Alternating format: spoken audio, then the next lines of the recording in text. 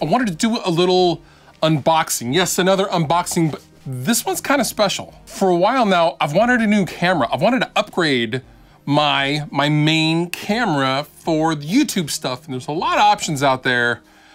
And I have some pretty specific needs. I need a camera that's fairly compact that can do run and gun stuff, but I wanna be able to plug an XLR into it, which pretty much eliminates all the DSLRs. And I kind of want to get away from DSLRs anyway. I also wanted something that was just really good. I mean, I wanted to really just go big. You know, go big or go home, right? So that's what has arrived today from Adorama. Even though this has nothing to do with Adorama, I, I bought all this stuff. It just happened to come from Adorama. So let's do this.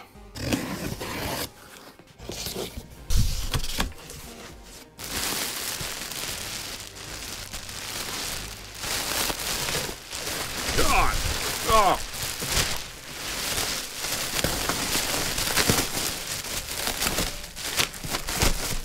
The never-ending packing. First is the lens. I got it used because I found a really good deal on Adorama, and I figured a used lens that was in really, really good condition could save me a significant amount of money, and in this case, I was right. This is the Canon 16 to 35 millimeter L series Mark II lens. Good weight, hefty. I wanted to go with an L series because anything less wouldn't be doing the camera that I got justice. Next. Why is there still packing behind me? Ah.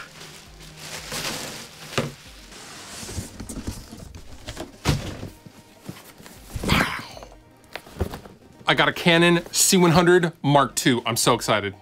Oh my God, look at the manual on this thing. This is a book. This is a, two books.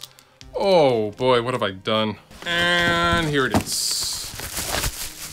Look at this pretty thing. Ooh. Mm-hmm.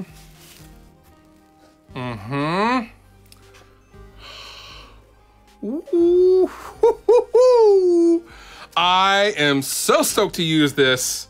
You have no idea. So your first question, if you're into this kind of a thing and know enough to ask the question or complain about it, is, but Fluff, it doesn't have 4K. Okay, here's the thing about 4K. In my experience, and taking into account what I do on the daily, only people who have never actually worked with 4K would say, you need a 4K camera because filming a five minute FAQ Monday video would take, you know, 10, 20 minutes to download the footage from, and that is not going forward. That's going backwards as far as productivity goes. I wanted the picture of 4K, but not really be working with 4K files because that's just too much to manage. And with the amount of footage I kick out of this place, 4K doesn't make sense. And I've never really been asked to do 4K when I'm doing uh, uh, run and gun, uh, contractual, hire kind of a situation either. And even if I was, I would just go rent something or I have friends who have 4K stuff and I could just use their stuff. But for my stuff, I don't need 4K. I also want to be able to use XLRs directly into the camera if I wanted to. And I also wanted a flip monitor, which the Canon C100 Mark II has. This is just a great, great camera. I've always wanted one.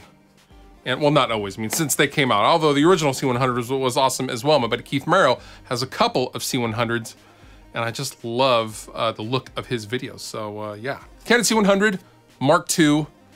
Yeah, things are about to be looking real good up in here. That's it for the unboxing. Uh, I would show you all the accessories, but you know, who wants to see a camera strap? I don't really care about camera straps. Thank you so much for watching. All applicable links down below in the description. You've been wonderful. I've been Fluff.